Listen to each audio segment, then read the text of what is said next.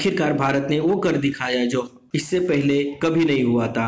Asia खेलों के history में हम सौ से ज़्यादा मेडल जीतने में कामयाब हुए हैं। एशियन खेलों में हमें जिन खेलों में मेडल जीतना होता है, वहाँ चीन, जापान, कोरिया जैसे तगड़े देशों से टक्कर लेनी होती है।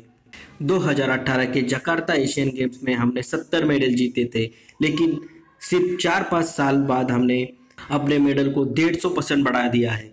एशियन गेम्स के हिस्ट्री में ना भारत ने कभी इतने गोल्ड मेडल जीते, ना इतने कभी कुल मेडल जीते। और 60 के दशक के बाद भारत चौथे नंबर पर आया है। इस बार हमने 107 में से बावन मेडल शूटिंग और एथलेटिक्स में ही जीते हैं। एथलेटिक्स में हमने javelin throw short put relay race और 5000 मीटर दौड़ में गोल्ड जीते हैं। पिछली बार की चैंपियन जापान को हमने पाँच एक से हराकर हॉकी में गोल्ड मेडल जीता। इसके अलावा क्रिकेट और कबड्डी दोनों में हमने गोल्ड मेडल जीता है।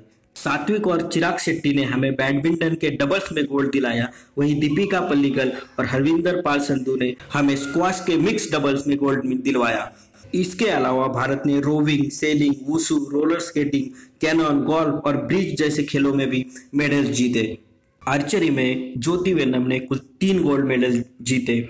और वही शूटिंग की बात करें तो ऐश्वर्य प्रताप सिंह तोमर ने चार मेडल और 19 वर्षीय ईशा सिंह ने चार मेडल जीते।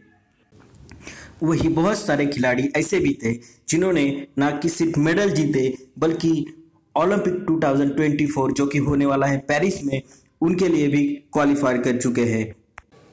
भारत ने इस एशियाई खेलों में इस बार सौ का पार लक्ष्य रखा था और उसे पार भी करके दिखाया।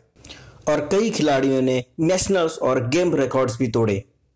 खेलों से जुड़ी ताज़ा जानकारी के लिए आप हमें बाकी सोशल मीडिया प्लेटफॉर्म पर भी फॉलो कर सकते हैं। सारे लिंक आपको डिस्क्रिप्शन में मिल जाएँगे। धन्यवाद।